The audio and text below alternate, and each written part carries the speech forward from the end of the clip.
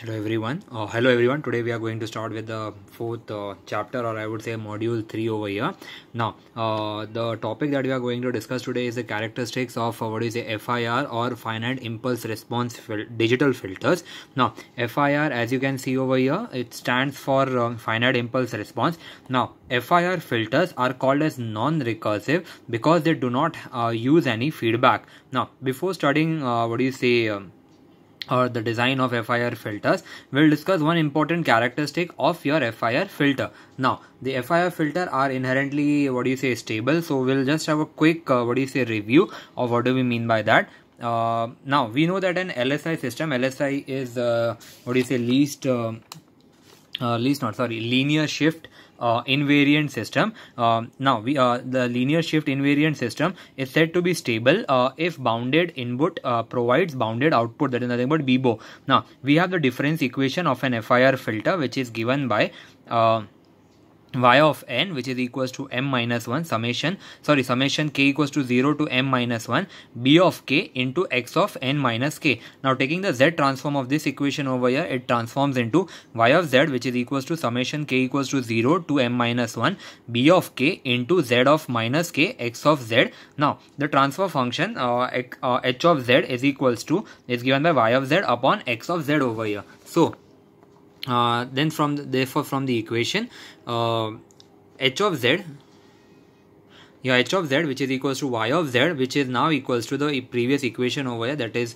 uh, that was the one which we to uh, which we received after performing the z transform which is given by summation k equals to 0 to m minus 1 b of k z raised to minus k. Now taking the inverse z transform of the equation we have h of n which is equals to b of n uh, uh, which is equals to b of n. If your value of chotu n is uh, ranging from 0 to m minus 1 and the value is 0 otherwise. Now expanding the above equation we get y of n which is equals to uh, what do you say uh, this equation uh, uh, expanding this equation we get y of n which is equals to b0 uh, into x raised to n plus uh, what do you say b1 into x is x of n, mi n minus 1 plus what do you say b b2 into x of n minus 2 up till b of m minus 1 into x of n minus m plus 1 over here. Now using the above equation over here that we have received we can equate it the uh, what do you say the equation to y of n which is equals to uh, h of 0 into x of n plus h of 1 into x of n minus 1 up till h of m minus 1 into x of h minus m plus 1 now here your h of 0 h of 1 are constants over here. That means they are bounded. Now the equations uh, the equation over here uh, in this equation over here the output will be bounded if we uh, apply uh, bounded input that means for every bounded input the output of FIR filter is bounded. Hence we say that FIR filters are inherently stable. Now uh, we'll uh, go in a little bit detail uh, over here. And we are going to study some properties. Now over here uh, there is a topic called as constant group and phase delay. So now what do we mean by that? Uh, let's study the topic is uh, the question has been asked in such a way that uh, define group delay and phase delay. Uh, so for FIR filter this is the standard equation that you need to remember in Z transform uh, format. It is given from summation n equals to 0 to m minus 1 h of n into z raised to minus n. Now to obtain the magnitude and the phase response we put z which is equals to e raised to j omega. Now h of e raised to j omega is, is equal to summation n equals to 0 to m minus 1 h of n into e raised to j into omega n. Now here the phase response is given by uh, phase of omega uh, phi of omega which is equals to tan inverse of imaginary part of uh, uh, h of e raised to j omega and real part of h of e raised to j omega. Now the group delay is uh, the group delay is the delayed response of a filter as a function of frequency omega. The phase delay that is nothing but tau p and the group delay tau s are given by tau p is equals to uh, what do you say? The phase delay is given by minus of 5 into omega minus phi of omega upon the actual uh, what is the mod of omega and your tau g that is nothing but your group delay is given by minus uh, is equals uh, is equal to minus d uh, derivative of of uh, phi of omega upon, uh, with respect to d of omega. Now the parameter tau is a constant phase delay parameter and it is given by tau is equals to m minus 1 upon 2 now if the phase um, what do you say if the phase delay and the group delay are constant, then such filters are called as linear phase filters. The condition for linear phase uh, in terms of delay parameter is given as phi of omega which is equals to minus of omega into tau. Similarly, in terms of filter length, the condition for uh, what do you say? Um, the condition for um, linear phase is h of n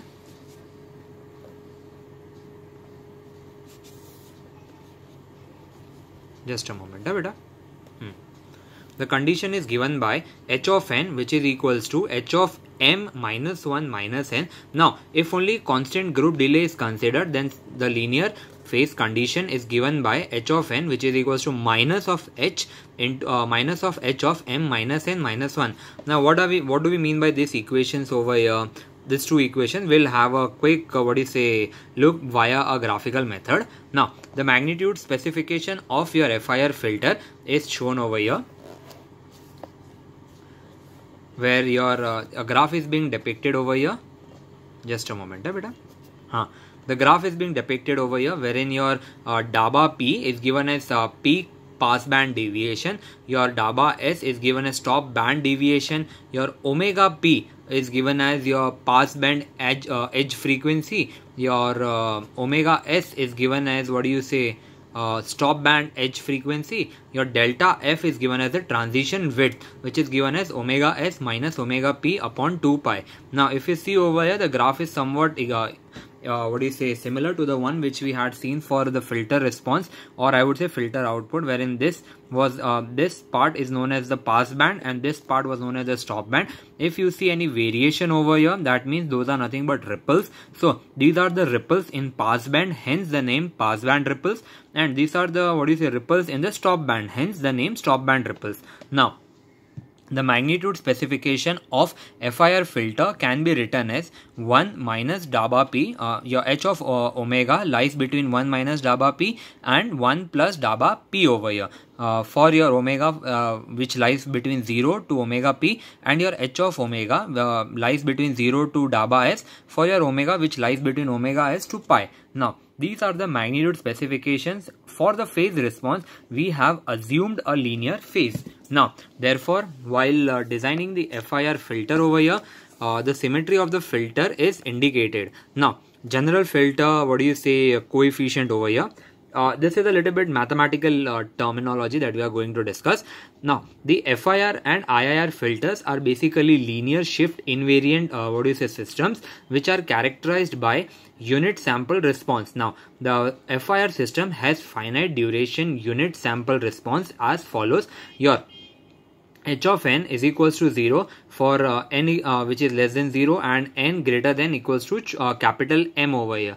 Now the FIR system is non-recursive system. It means it depends only on the past and the present input. The difference equation of the LSI system is given as y of n which is equals to minus of summation uh, from k equals to 1 uh, to m a of k into y of n minus k plus summation k equals to 0 to m into b of k x of n minus k. Now, the first term represents the past outputs and the second term over here represents the past and the present input. Hence, the difference uh, equation of the FIR filter system is y of n which is equals to summation k equals to 0 to m b of k into x into n minus k. Now, if we consider m coefficients, then uh, your y of n is equals to your y of n is equals to summation k equals to 0 to uh, what do you say m minus 1 into b of k into x of n minus k. Now taking z transform of both the sides your y of z is equals to summation k equals to 0 to m minus 1 b of k into z raised to minus k x of z. So therefore your y of z upon x of z uh, uh, this x of z is being taken over here. So it becomes uh, h of z which is equals to summation k of k equals to 0 to m minus 1 bk into z raised to minus k. Now we had said that x upon y upon uh, y of z upon x of z is nothing but your h of z. So which is a system function of FIR system. Hence from these two equations from 4 and from 5 we say that your uh, h of z over here is nothing but summation k equals to 0 to m minus 1 into uh, what do you say of b of k into z of minus k.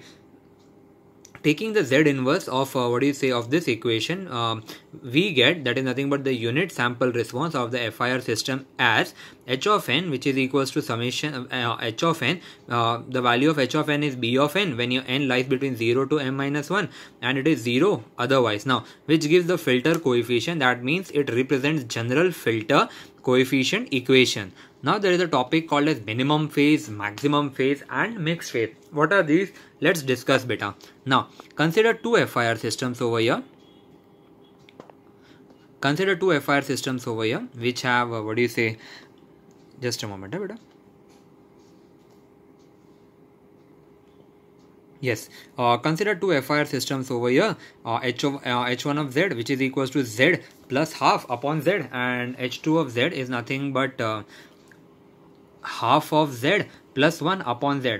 Now, the first system h1 of z uh, has 0 at z equals to minus half as you can see from over here. And the second system h2 of z has 0 at plus 1 z uh, plus 1 which is equals to 0 that means z equals to 2 minus 2 thus there uh, there is a reciprocal relation between the zeros of the two systems as you can see over here it is quite simple beta एक का आपको zero minus half पे है और एक का minus two पे this two are nothing but the reciprocal of each other now will calculate magnitude and phase response of the two systems. Now, the magnitude response is given by we know that the magnitude response is obtained by putting z equals to e raised to j omega and by taking the magnitude of that function. Now h1 of j omega is given as uh, what do you say we replace z by e raised to minus j omega. So it becomes e raised to minus j omega plus half upon e raised to minus j omega now this one is uh, expanded using the Euler's identity. So it becomes cos of omega minus j of sine omega plus half upon cos of omega minus uh, what do you say j of sine omega. Therefore if we take a mod sign over here, so we take an under root, uh, what do you say, we take under root and uh, we take a square under that. So it is nothing but uh, what do you say half we take the square of the real terms that is nothing but half plus cos of omega square plus sine square omega and over here we have uh, what do you say uh, cos square omega plus sine square omega. Now, as you can see over here,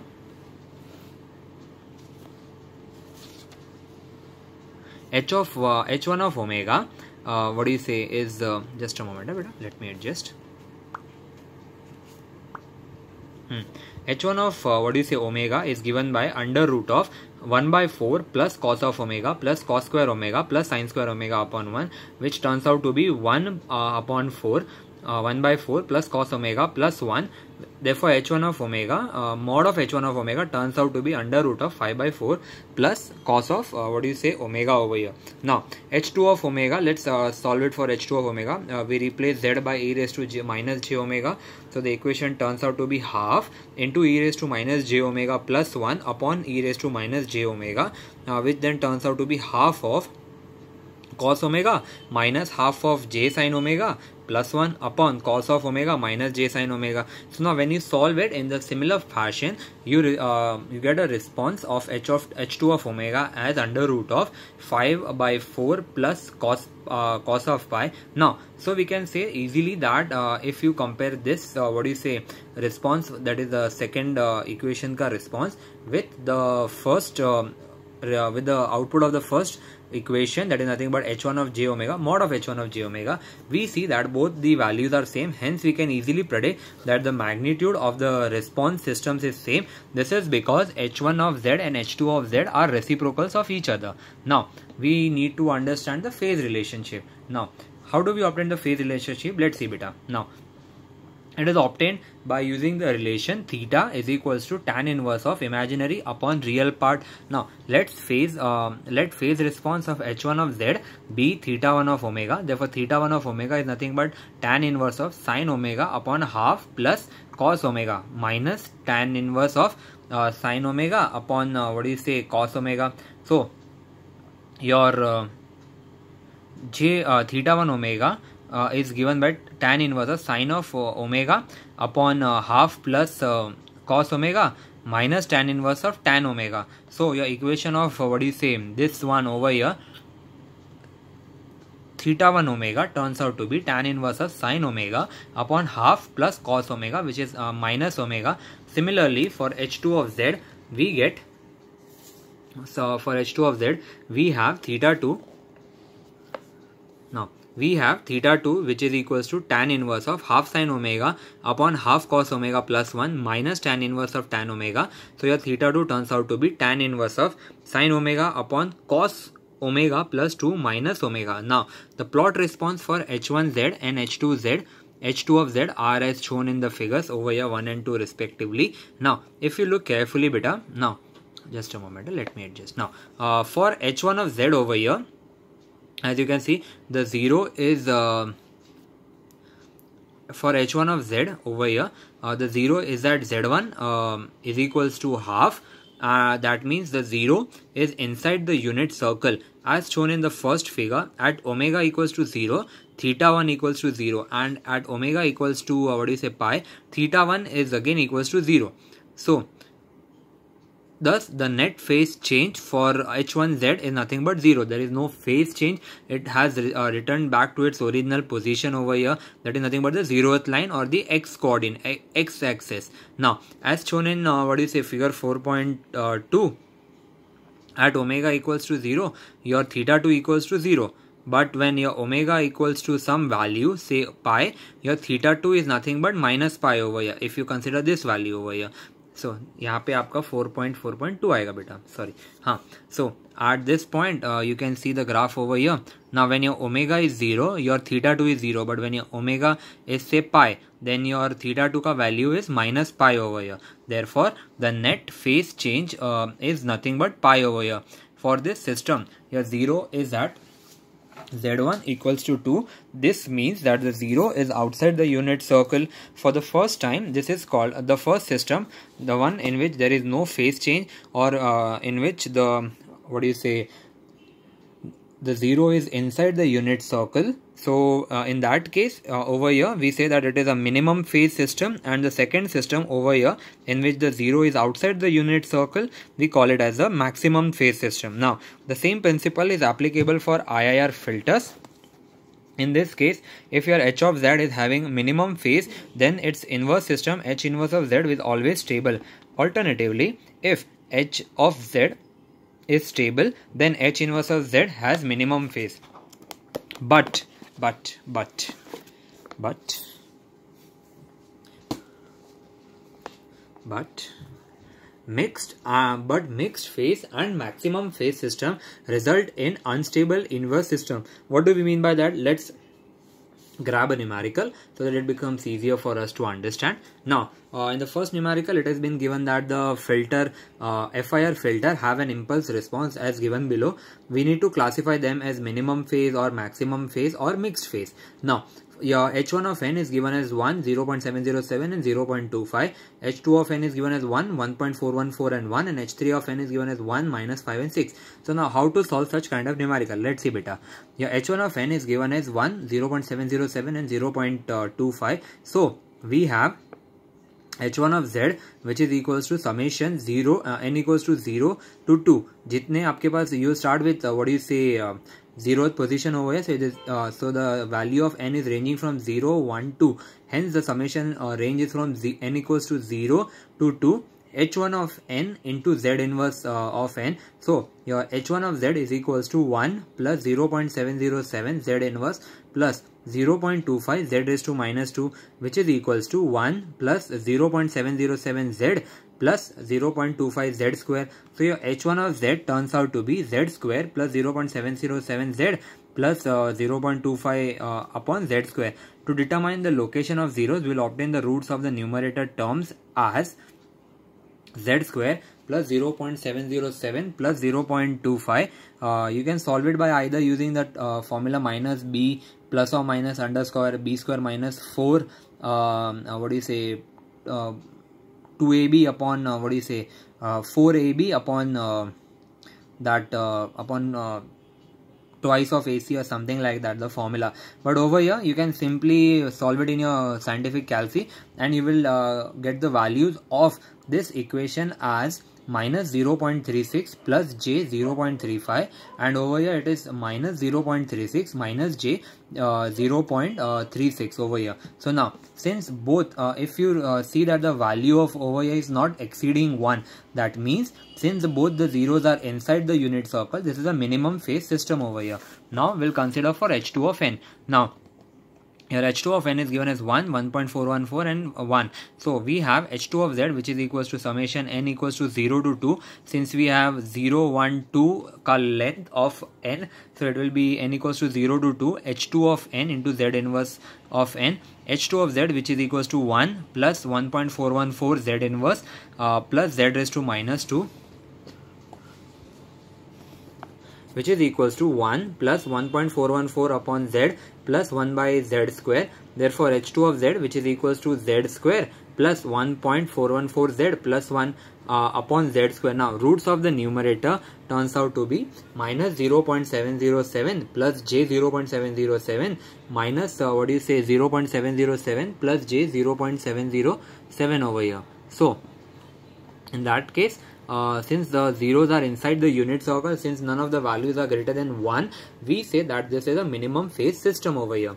Now you have the third impulse response as uh, uh, h3 of z which is the uh, uh, h h3 of n which is equals to 1 minus 5 and 6 so when you have it in the equation form it is written as h3 of z which is equals to summation n equals to 0 to 2 h3 of n into z inverse of n. So h3 of uh, what do you say z becomes 1 minus 5 z inverse plus 1 uh, minus 5 z inverse plus uh, 6 uh, z raised to minus 2 so your h3 of z turns out to be z square minus 5z plus 6 upon z square. Now the roots of the numerator are uh, when we solve we get it the value as uh, 3 and 2 over here. Since the zeros are outside the unit circle since the value is greater than 1 we say that the zeros are outside the unit circle and hence this is a minimum phase system over here I guess the numericals the numerical is quite simple over here. Now we will take another question so that it becomes easier for my students. Now the question goes something like that that suppose your h of z and g of z are rational and have minimum phases which of the following filters have minimum phase you have been given two uh, what is this set of condition in one set it is being given as it is uh, h of z into g of z and another one is h of z uh, plus g of z now we need to find out which of the filter has uh, minimum uh, what do you say um, minimum uh, phase system.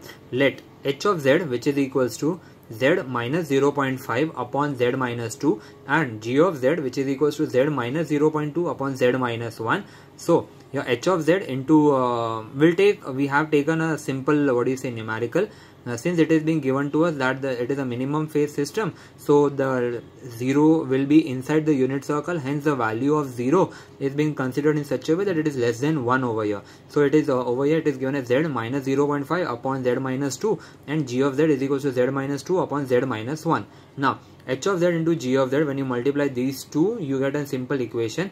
Now if you look over here the equation 1 is having 0 at 0 uh, is having 0 uh, out of the pole and 0 at uh, 0.5 and at 0.2 which is but of course less than 1 since we were being given that the question is having a minimum phase system. So yes.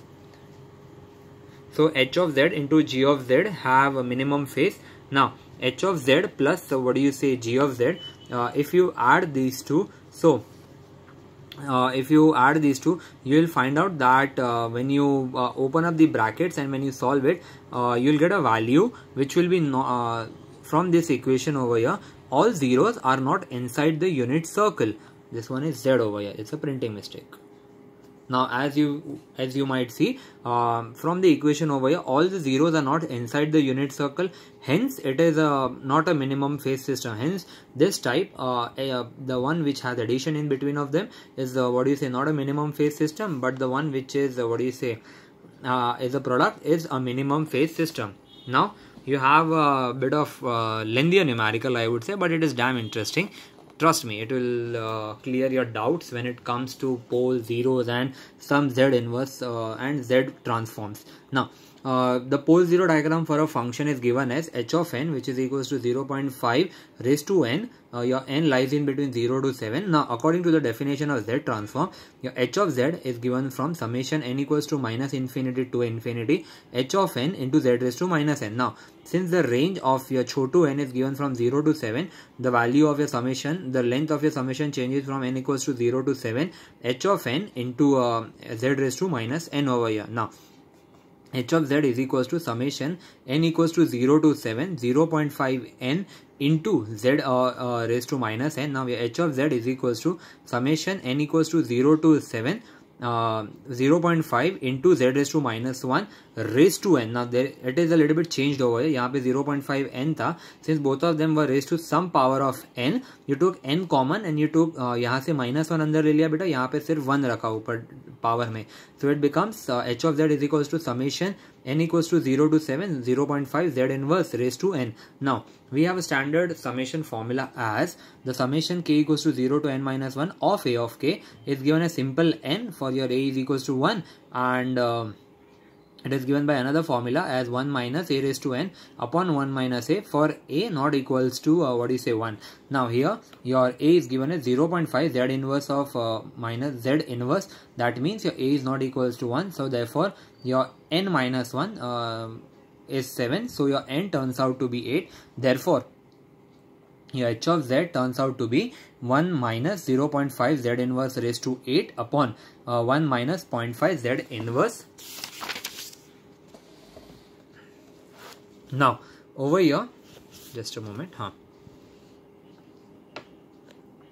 converting the equation uh, what do you say uh, 4 into positive powers of z we get h of z which is equals to uh, z raised to 8 minus 0.5 raised to 8 upon z raised to 8 minus uh, 0.5 z raised to 7 which is equals to z raised to 8 minus 0.5 raised to 8 यहाँ से मैंने z raised to 7 common ले लिया and z minus 0.5 now the zeros are obtained by equating the numerator term to 0 so this term and this term raised to 0 that means z raised to 8 which is equals to 0.5 raised to 8 so therefore we can now multiply your RHS by e raised to j 2 pi k since e raised to j 2 pi k is nothing but 1 therefore your z raised to 8 over here is nothing but uh, 0.5 raised to 8 uh, into e raised to j 2 pi k your value of k ranges from 0 to 7 you're taking 8th root of both the sides we get z which is equals to 0.5 raised to 8 into e raised to j 2 pi k raised to 1 by 8 now your z which is equals to 0.5 into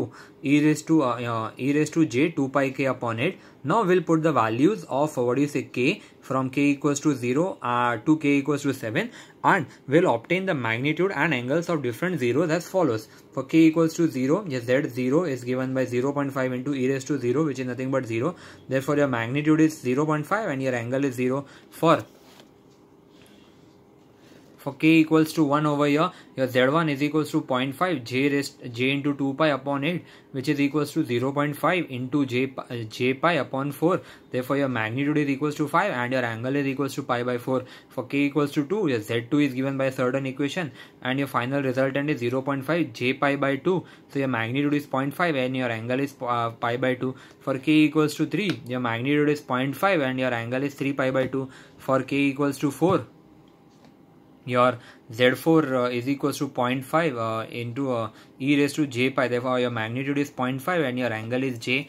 Therefore uh, when your k is equals to 5 the value of uh, what do you say z5 is nothing but 0.5 into your e raised to j 5 pi by 4 so your magnitude is 0.5 angle is 5 pi by 4 when your k equals to 6 your z6 is equals to 0.5 uh, into j into 3 pi by 2 so your magnitude is 0.5 and angle is 3 pi by 2 and last and not the least when your k is equals to 7 your magnitude is 0.5 and your angle is 7 pi by 4 so now when you have that thing into your tabular format this is the equation. Uh, these are the value uh, these are the different zeros. This is uh, same magnitude. That means it is inside the unit circle. And this is the angle prescribed. Now poles are obtained by um, uh, equating the denominator term to 0 therefore z raised to 7 and z raised uh, z into z minus 5 which is equals to 0 therefore there are 7 poles at z equals to 0 uh, that is nothing but your origin. And one pole at z equals to 0.5 the pole at uh, what do you say z equals to 0.5 cancels with uh, 0 at z equals to 0.5 that is nothing but z0 therefore your pole 0 diagram is as shown over here. Now the pole 0 diagram is being shown over here. So yes this is a simple diagram wherein you need to plot the real part and the imaginary parts over here. So yes uh, your z uh, the one which was going to be lying over here it got cancelled with the uh, pole over here. So yes it is not being plotted. The z0 is not being plotted over here. So it is a simple what do you say uh, a pole 0 plot of uh, what is a minimum phase system. Now similarly you have some uh, small small numerical to be done now uh, we need to determine uh, let us see what are we facing now uh, we need to determine the zeros to be ek minute bacha hmm. now uh, we have been given the question as to determine the zeros of the following FIR system and indicate whether the system is minimum phase, maximum phase or mixed phase. Now, your first, uh, let us see, h1 of z is given as 6 plus z inverse plus z is 2 minus 2.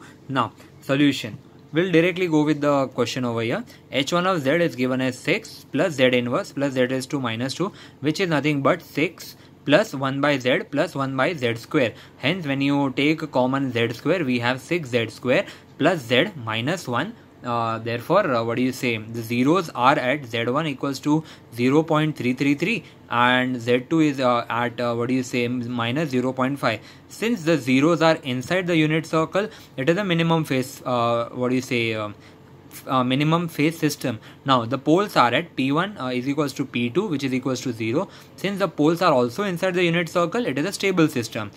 Now we take the second equation. We take uh, 1 minus z, uh, uh, z inverse minus 6 z uh, raised to minus 2 which is equals to 1 minus 1 upon 2 minus 6 upon z square which is equals to z square minus z minus 6 upon z square. Therefore the zeros are at z1 equals to 3 and z2 equals to minus 2 since both the zeros are outside the unit circle it is a non minimum phase system. The poles are also at origin so hence it is a stable system the third equation we have h1 of z is equals to 1 minus 5 by 2 z inverse. Minus 3 by 2 z uh, raised to minus 2 which is equals to 1 minus uh, 5 by 2 z minus 3 by 2 z square. So when you take an LCM the equation turns out to be 2 z square minus 5 z minus 3 upon 2 z square over here. So the two zeros are at uh, what do you say uh, uh, z1 equals to 3 and z2 equals to 5 here one zero is inside the unit circle and the another zero is outside the unit circle. So it is a mixed phase uh, system as you would see over here. The poles are at origin so it is a stable system. Now h1 of z is equals to uh, what do you say 1 plus 5 by 3 z inverse uh, plus minus 2 by 3 z raised to minus 2 so when you have the final equation uh, solved it turns out to be 3z square plus 5z minus 2 upon 3z square. Now here the zeros are at z1 equals to 0.333 and z z2 is equals to minus 2 since one zero is inside the unit circle and the another uh, zero is outside the unit circle it is a mixed system. The poles are at origin. So it is a stable system. H1 of z is equals to 6 plus z inverse plus 6 z raised to minus 2 when you uh, solve the equation it turns out to be 6z square plus 6 uh, plus z minus 6 upon z square. Therefore the zeros since the zeros are at z1 equals to 0.92 and z2 is equals to minus 1.08 since one zero is inside the unit circle and what do you say another is outside the unit circle it is a mixed phase system. Now uh, last e equation we have h4 of z which is equals to 1 minus 5 by 2 z inverse minus 2 by 3 z raised to minus 2 so on solving and taking the LCM the equation turns out to be z square minus 2.5 z minus 0.67 upon z square. So thus the equations are at z1 equals to uh, 2.7 and z2 equals to minus 0.244 so one zero is outside and the another one is inside the unit circle. So it is a mixed phase system so yes, this was all up till for uh, minimum and maximum phase numericals. In the next part, we are going to start with some new topic. So up till then, please be stay safe beta.